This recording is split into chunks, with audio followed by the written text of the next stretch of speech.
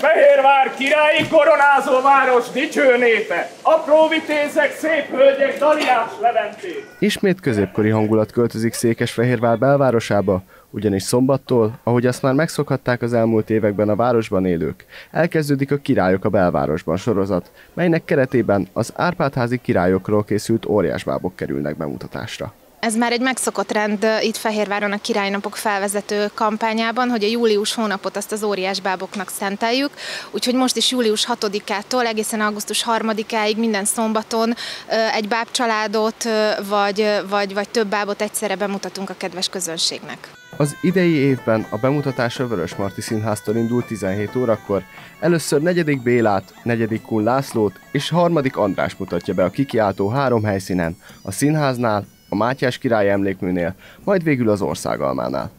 Kenyér Ágnes elmondta, a vonuláshoz több kulturális csoport is csatlakozik. Nem csak kikiáltó, és nem csak a bábok szerepelnek, és nem csak a nézők ebben a délutáni programsorozatban, kora esti programsorozatban.